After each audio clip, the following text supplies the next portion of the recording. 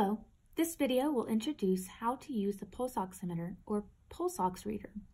If you received a pulse ox from Oxygen Now, it comes in a blue protective sleeve and a connecting lanyard. The purpose of a pulse ox is to read the patient's oxygen level and pulse. Start by taking out the pulse ox and pressing the small white button on the front of the machine. It is recommended that you use the index finger or the middle finger. Do not use the thumb. Begin by placing the finger into the pulse ox face down. Make sure that you put your finger all the way in and press snugly around your finger. User will notice a change in numbers, but the true reading takes a moment. To get an accurate reading, the best posture for blood flow is to have a relaxed sitting or laying position with your hand at the same level as the heart. How to read the numbers. The larger number is your pulse oxygen saturation or oxygen level ranking from 100%. Below 70% indicates extremely low oxygen and the numbers will not be very accurate. The smaller number is your pulse rate. Be aware of your average resting heart rate and what it should be at. There should also be a pulse intensity bar graph display along the side. When reading the levels on the pulse ox, typically 95% oxygen level is considered normal for most individuals.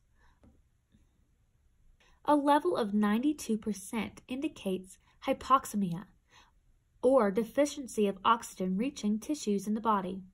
If the pulse ox indicates 90% or lower, seek medical attention.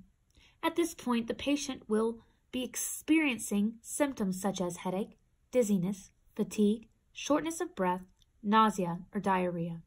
30 minutes to an hour of medical grade oxygen should raise your oxygen levels quickly and dissipate those symptoms. Machine use or troubleshooting. This machine is sensitive when trying to read the oxygen levels. Too much movement will mess up this machine. Try to be still when taking the oxygen readings. Do not move your arm. Have it relaxed parallel near the heart. It cannot read accurately with artificial nails or dark nail polish. Cold hands will not pick up a good reading. Patients should rub hands together or run them under hot water for a few minutes before taking a reading low battery. There is a percentage indication on the home screen, but if you are having troubles anyway, always be sure to check the battery on the back side, just to be sure. And you can replace the batteries right here and take another reading by pressing the small white button and starting over. Again, thank you for using Oxygen Now, and you can always call us at this number here below for any more questions.